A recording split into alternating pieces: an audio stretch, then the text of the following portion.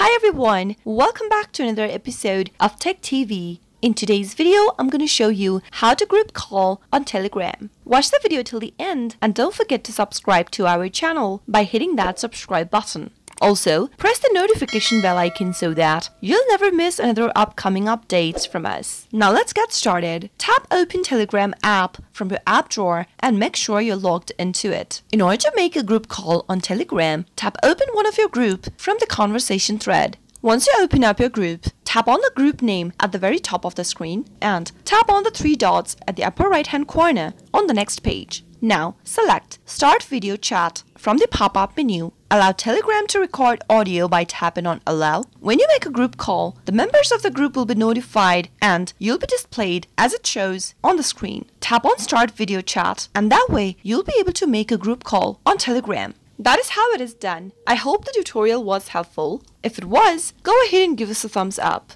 I'll be back soon with more tutorial videos like this. Thanks for watching.